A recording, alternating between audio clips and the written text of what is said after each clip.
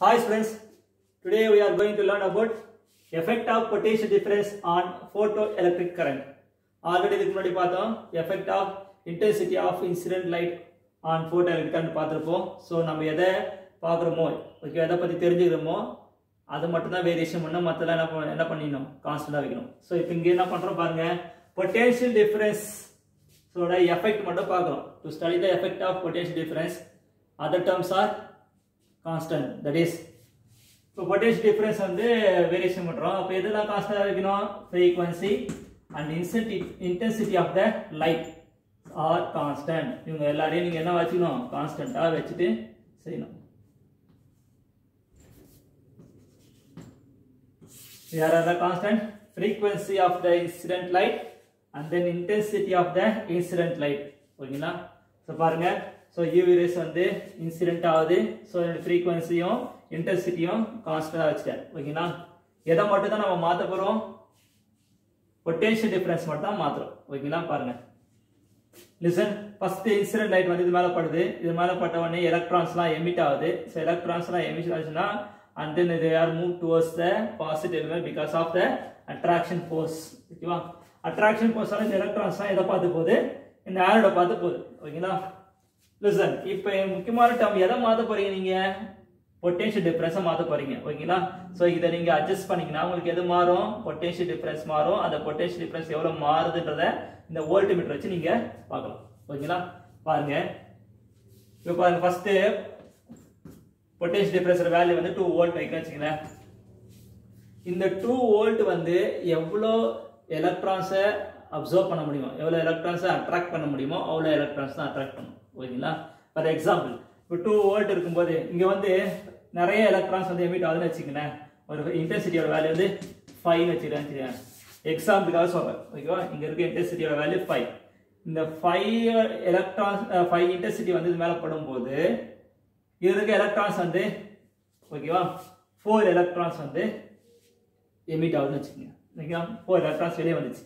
இப்போ பாருங்க இந்த டூ வோல்ட்டால அதாவது இங்க கொடுக்குற பொட்டன்ஷியல் டூ வோல்ட்டால எவ்வளோ எலக்ட்ரான்ஸை அவரால் அட்ராக்ட் பண்ண முடியுமோ அவ்வளோ எலக்ட்ரான்ஸை அட்ராக்ட் பண்ணுவார். ஓகேங்களா? கண்டிப்பாக இங்க இருக்க எலக்ட்ரான்ஸ் பார்த்து போக போகுது.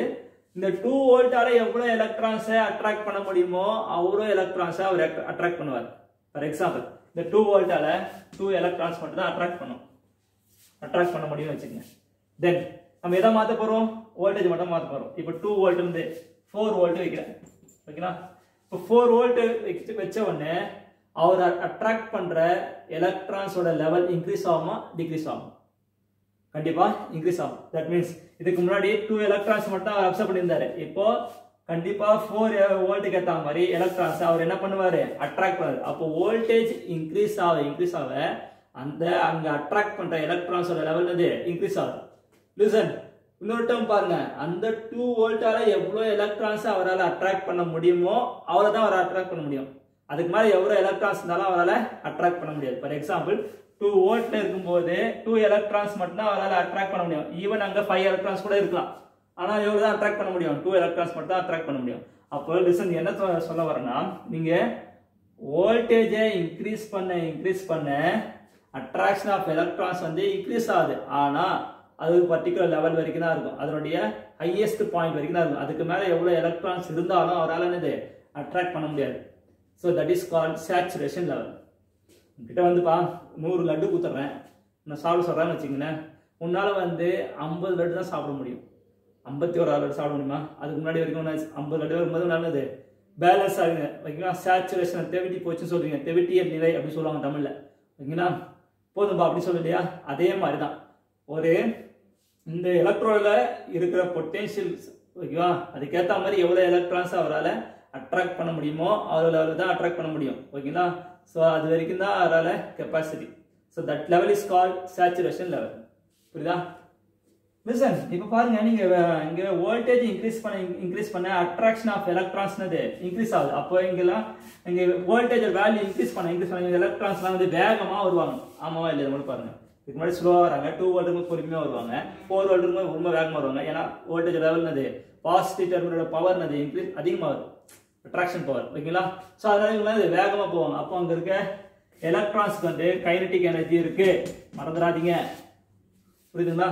இப்போ கைனடிக் எனர்ஜிக்கு ஏற்ற மாதிரி அவங்க வந்து ஃபாஸ்ட்டாக வருவாங்க. ஸோ இப்போ இதை பேஸ் பண்ணி நம்ம கிராஃப் போடுமா பாருங்க. இந்த கிராஃப் பார்த்தா உங்களுக்கு புரியும் நினைக்கிறேன். பாருங்க. Graph between potential and the photoelectric current. ஓகேங்களா போட்டோ எலக்ட்ரிக் கரண்ட் பாருங்க. இப்போ நான் வந்து வோல்டேஜ் இன்க்ரீஸ் பண்ண இன்க்ரீஸ் பண்ண கரண்டோட வேல்யூ என்னது? இன்க்ரீஸ் ஆகும். ஓகேவா அட்ராக்ஷன் ஆஃப் எலக்ட்ரான்ஸ் என்னது? இன்க்ரீஸ் ஆகும். அப்போ நான் வோல்டேஜ் கொஞ்சம் கொஞ்சமாக இன்க்ரீஸ் பண்ணுறேன் ஓகேவா டூ வோல்ட்டு அப்போ வந்து இவ்வளோ கரண்ட் இருக்கு. தென் ஃபோர் வோல்ட் அதுக்கு எல்லாமே கரண்ட் இருக்கு. சிக்ஸ் வோல்ட் அதுக்கு எல்லாமே கரண்ட் லிசன் தென் நெக்ஸ்ட் பாருங்க. இப்போ நீங்க இதுக்கப்புறம் எவ்வளவு வோல்டேஜ் இன்க்ரீஸ் பண்ணாலும் இங்க இருக்கிற கரண்டோட வேல்யூ என்னது? கான்ஸ்டண்டா இருக்கும். ஓகேங்களா ஏன்னா நம்ம இந்த பிளேட்டு எவ்வளோ கரண்ட்டை எவ்வளோ எலக்ட்ரான்ஸை அவர் வந்து அப்சர்வ் பண்ண முடியுமோ? எவ்வளோ எலக்ட்ரான்ஸை அவரால் அப்சர்வ் பண்ண முடியுமோ அது வரைக்கும் தான் அப்சர்வ் பண்ணுறது அதுக்கப்புறம் என்னது? மேக்ஸிமம் லெவலில் அவர் ரீச் பண்ணுறாரு அந்த லெவலுக்கு இப்போ தான் நம்ம என்ன சொல்லியிருக்கோம்? சேச்சுரேஷன் கரண்ட் ஓகேங்களா புரியுதா பாருங்க? ரிசல்ட் இந்த வோல்டேஜுக்கும் பார்க்கணும் அப்புறம் இந்த மெட்டலுக்கும் பார்க்கணும். ஓகேங்களா புரியுதா பாருங்க? ஸோ ஃபர்ஸ்ட் பாருங்க இதுல இருந்து என்ன தெரிய வருது பாருங்க. பொட்டென்ஷியல் இன்க்ரீஸ் ஆக இன்க்ரீஸ் ஆக கரண்டோட வேல்யூ என்னது? இன்க்ரீஸ் ஆகுது. ஒரு பர்டிகுலர் வோல்டேஜ்க்கு அப்புறம் அவர் என்ன பண்றாரு? சேச்சுரேஷன் லெவலில் போயிடாரு அப்போ அங்க இருக்கிற கரண்டோட வேல்யூ என்னது? கான்ஸ்டன்ட் இதுக்கப்புறம் நீங்க சிக்ஸுக்கு அப்புறம் எயிட் டென் லெவன் டுவெல் எது வச்சாலும் கரண்டோட வேல்யூ இது கான்ஸ்டன்ட் தான் இருக்கும் ஓகேங்களா தென் நெக்ஸ்ட் பாருங்க சரி ஆ இப்போ பாருங்க இந்த பொட்டென்ஷியலோட வேல்யூ வந்து இன்க்ரீஸ் பண்ண இன்க்ரீஸ் பண்ண கான்ஸ்டன்ட் ஆயிடுச்சு நம்மளுக்கு இன்னொரு டவுட் வருது. ஓகேங்களா அப்போ டிக்ரீஸ் பண்ணலாமா அப்போ நெகட்டிவ் பொட்டென்ஷியல் கொடுக்குறேன் இதுக்கு பேர் என்ன சொல்லுவாங்கன்னா ரிட்டார்டிங் பொட்டென்ஷியல் அதை பாசிட்டிவ்ல கொண்டு போனீங்க. இப்போ என்ன பண்றீங்க நீங்க? நெகட்டிவ்ல கொண்டு வரீங்க. That is minus one minus two minus three minus four கொண்டு வரீங்க. ஓகேங்களா? இப்போ மைனஸ் ஒன் கொடுத்த உடனே ஃபார் எக்ஸாம்பிள் ஜீரோ கொடுத்த உடனே ஆட்டோமேட்டிக்காக என்ன வரணும் உங்களுக்கு? ஜீரோ வரணும். அதான உண்மையான விஷயம்? ஆனால் கண்டிப்பாக இங்கே ஜீரோ வராது. என்ன ரீசன் அப்படின்னு பாருங்க. ரீசன் நான் அப்ளை பண்ணுற பொட்டென்ஷியலோட வேல்யூ ஜீரோ கொடுத்துட்டேன். ஓகேங்களா? ஆனாலும் இங்கே கரண்ட் பாஸ் ஆகுது. என்ன ரீசன் அப்படின்னு பார்க்கும்போது ரீசன் இங்கே பொட்டென்ஷியல் வேல்யூ ஆஃப் பண்ணிடுறேன் வச்சுக்கோங்க. இங்கே சென்டரில் எமிட் ஆன எலக்ட்ரான்ஸ் அப்படி நின்றுமா புரியுதா பாருங்க? எலக்ட்ரான்ஸ் இங்க லைட் படுது எலக்ட்ரான்ஸ் எமிட் ஆகுது. ஆனா நான் இங்க ஆஃப் பண்ணிட்டேன். ஏன்னா ஜீரோ கொண்டு வந்துட்டேன். ஓகேங்களா? அப்படி கொண்டு வந்தோடனே இந்த எலக்ட்ரான்ஸ்லாம் என்ன ஆயிடும்? அப்படின்னு நினைக்கிறீங்களா? ஏன்னா இவங்களுக்கு ஆல்ரெடி ஒரு கைனடிக் எனர்ஜி இருக்கு. ஓகேவா? நடுவில் வந்தாலும் ஆட்டோமேட்டிக்கா எங்க ரீச் ஆவாங்க? கண்டிப்பா ஆனோட அவங்க ரீச் ஆகி தான் தருவாங்க. ஓகேங்களா? அப்போ நீங்க எப்போ வந்து அது ஜீரோ ஆகுதுன்னு பார்க்கணும். ஓகேங்களா? டிசைன் நீங்க இந்த அப்ளைடு வோல்டேஜ் வேல்யூ ஜீரோ கொண்டு வந்தாலும் அங்கே கரண்டோட வேல்யூ கிடைக்குது. என்ன ரீசன்னா இங்கே இருக்கிற எலக்ட்ரான்ஸ்னா ஒரு கைனட்டிக் எனர்ஜியோட ட்ராவல் ஆகுது. கண்டிப்பாக நடுவில் வந்து அவங்க ஸ்டாப் ஆக மாட்டாங்க. கண்டிப்பாக எங்கே தான் வந்து ரீச் ஆகணும். இந்த அயனோட ரீச் ஆகி தான் ஆகணும். ஸோ அப்போ பாருங்க நான் ஜீரோ வச்சாலும் உடனே ஜீரோ வரல. அப்போ என்ன பண்ணுறேன் நெகட்டிவ் பொட்டேஷன் கொடுக்குறேன். மைனஸ் ஒன் கொடுக்குறேன். மைனஸ் டூ கொடுக்குறேன். எங்கே இந்த இடத்துல. ஓகேவா மைனஸ் த்ரீ கொடுக்குறேன். மைனஸ் ஃபோர் கொடுக்குறேன். அப்போ எந்த வோல்டேஜ் நான் மைனஸ் த்ரீ கொடுக்குறேன் வச்சுக்கேன் இந்த இடத்துல வரும்போது புரியுதா பாருங்க மைனஸ் த்ரீ கொடுக்கும்போது வோல்டேஜ் எவ்வளோ கொடுக்குறேன்? மைனஸ் த்ரீ கொடுக்குறேன். அப்போ இருக்கிற கரண்டோட வேல்யூ என்னவா இருக்கும்? ஜீரோவா இருக்கும். இப்போ நீங்கள் பாயிண்ட் மார்க் பண்ணி எப்படி மார்க் பண்ணீங்க? மைனஸ் த்ரீ கமா ஜீரோ அப்படின்னா என்ன அர்த்தம்? ஒய் ஆக்சிஸ் இருக்கிற வேல்யூ வந்து ஜீரோ எக்ஸ் ஆக்சிஸில் வேல்யூ இருக்குன்னு அர்த்தம். புரியுதா?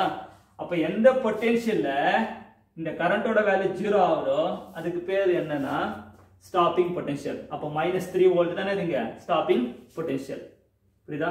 At particular potential photoelectric current will be zero. That potential is called stopping potential. ஏன் அப்போ வந்து ஸ்டாப் ஆகிறாங்க? ரிசல்ட் ஆல்ரெடி சொல்லிட்டேன். ஜீரோ வந்தாலும் இவர் வந்துட்டார். ஓகேவா? Minus one minus two minus three அப்படி கொடுக்கும்போது என்ன நடக்கும் பாருங்க? அதாவது வர எலக்ட்ரானோட கைனடிக் எனர்ஜிக்கு ஈக்குவலான பொட்டென்ஷியல் நீங்கள் எப்போ தரீங்களோ அப்போதான் இந்த எலக்ட்ரான்ஸ்லாம் இங்கே வராது. மீனிங் புரியுதா பாருங்க? எலக்ட்ரான்ஸ் செமிட் ஆகுது. புரியுதா?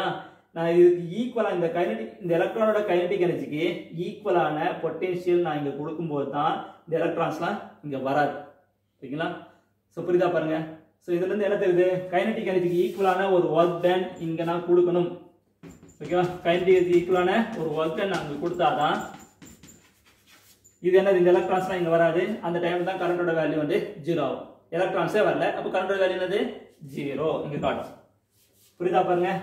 அப்போ இவர் இந்த பக்கம் வராரு வராது வச்சுக்கேன் இப்போ ரைட் வேர்ட்ஸில் வராரு அப்போ நான் என்ன பண்ணேன் அதுக்கு ஆப்போசிட் டைரக்ஷனில் நான் ஒர்க் கொடுக்குறோம் ஓகேவா புரியுதா பாருங்க ஸோ இந்த பொட்டன்ஷியல் பேர் என்ன சொன்னேன் ஸ்டாப்பிங் பொட்டன்ஷியல் ஸோ அப்படி நீங்கள் கிராஃப் பாருங்க நிறுவனம்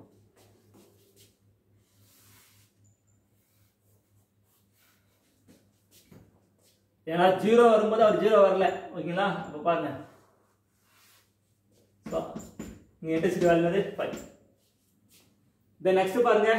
இன்டென்சிட்டியோட வேல்யூ இன்க்ரீஸ் பண்ணுறேன் I is equal to seven வைக்கிறேன் வச்சுக்கலாம் இப்போ இந்த எக்ஸ்பெரிமெண்ட் செய்யும்போது இன்டென்சிட்டியோட வேல்யூ என்னவா இருக்கும்? செவன் தான் அந்த எக்ஸ்பெரிமெண்ட் முடிய வரைக்கும் இன்டென்சிட்டி நான் மாற்ற போகிறதில்ல வோல்டேஜ் மட்டும் மாற்றுறேன் ஓகேங்களா லிசன் வோல்டேஜ் மட்டும் நான் மாத்துறேன்.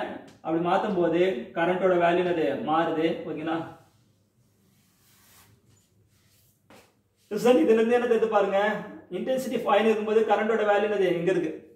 இன்டென்சிட்டியோட வேல்யூ செவன் இருக்கும்போது கரண்டோட வேல்யூ அதுக்கு மேலே இருக்கு. அப்படின்னா அர்த்தம். இன்டென்சிட்டி இன்க்ரீஸ் ஆக இன்க்ரீஸ் ஆக கரண்டோட வேல்யூ இன்க்ரீஸ் ஆகும்.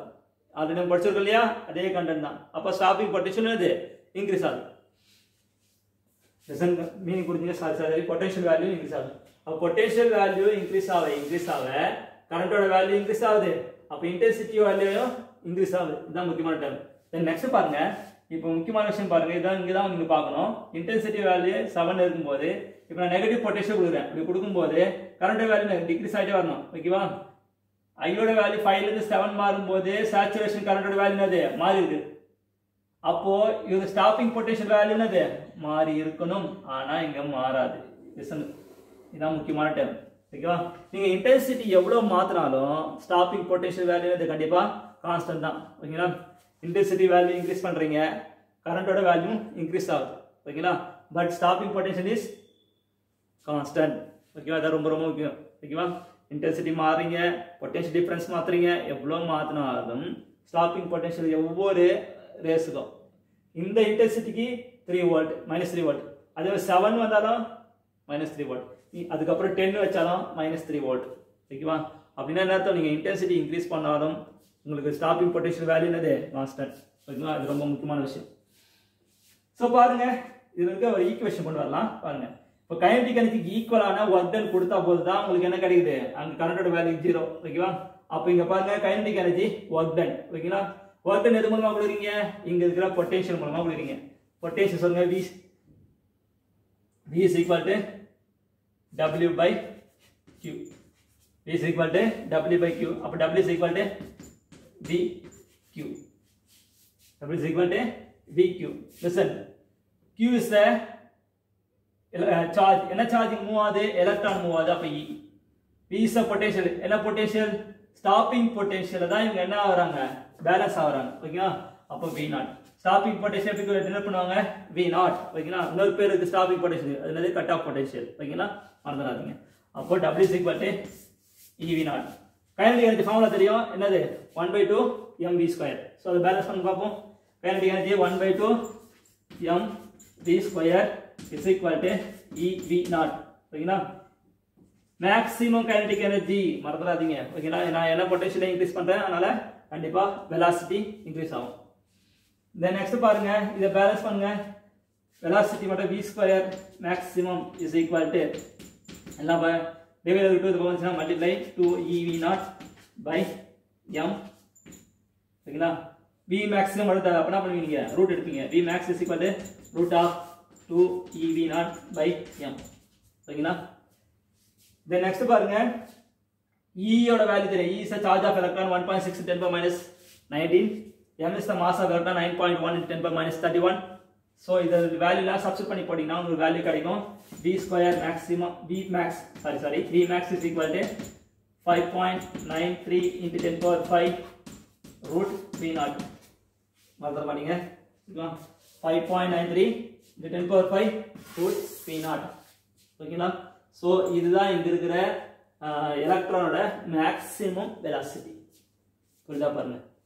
இந்த நெக்ஸ்ட் இந்த ஈக்குவேஷன் வைஸ் பார்க்கும்போது kinetic energy okay maximum is equal to EV naught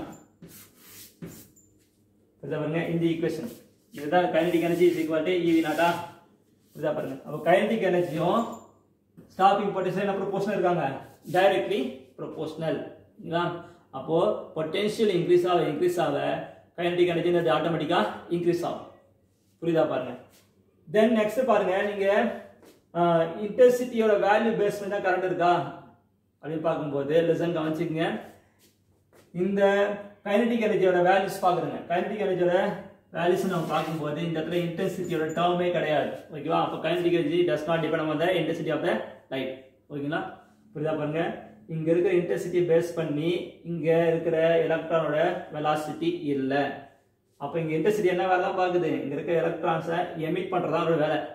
அதுக்கப்புறம் அவரை ஓட வைக்கிறது யாரோட வேலை? இங்க இருக்கிற பொட்டன்ஷியலோட வேலை. முக்கியமா தெரிஞ்சுக்க இதான் ரொம்ப ரொம்ப முக்கியமான விஷயம். ஸோ இதில் என்னென்ன பார்த்தோம் பாருங்க? சேச்சுரேஷன் கரண்ட்னு பார்த்தோம். ஓகேங்களா? Maximum level and then stopping potential at particular potential the photo current will be zero that potential is called stopping potential அந்த பொட்டன்ஷியல் கண்டிப்பாக என்னவாக இருக்கும்? நெகட்டிவ் பொட்டன்ஷியலாக இருக்கும். ஓகேவா? அதனுடைய சிம்பிள் வி நாட் ஓகேங்களா? அதுக்கு இன்னொரு பேர் இருக்கு. Cut off potential then stopping பொட்டன்ஷியலுக்கும் kind என்ன proportional directly proportional very important மறந்துடாதீங்க தேங்க்யூ ஆல்